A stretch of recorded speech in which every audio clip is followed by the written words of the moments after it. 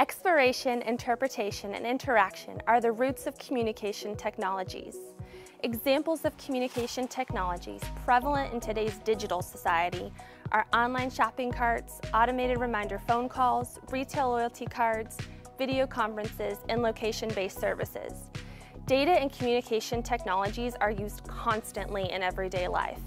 Businesses may track customer information in order to offer discounts, most cell phones know where they are in the world, and even having our gas or electric meter read remotely requires communication technologies and data services. This tremendous use of communication technologies and amount of data that is collected has generated a need for people to manage and use these technologies and data appropriately. And don't forget security. All of that information being collected may be private or sensitive information that individuals and businesses both want to keep away from prying eyes.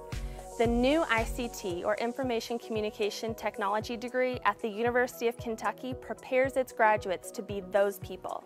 My name is Harley Collins and I am the Student Affairs Officer for the ICT program.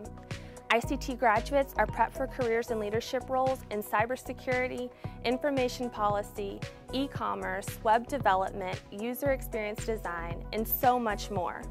So if you describe yourself as a problem solver, visionary, or technical trailblazer, then the ICT program at UK is your solution to the often complicated major decision equation.